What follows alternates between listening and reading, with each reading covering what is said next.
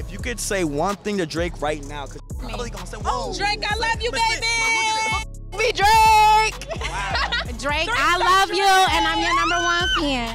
Marry Nicki Minaj. No, no, I Marry Nicki Minaj. Drake, I love you. Hit my line, please.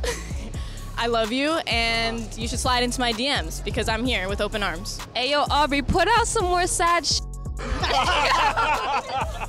Oh God. Yo. I gotta co-sign that. Sing more. You gotta sing more. Yeah. Sing. Sing.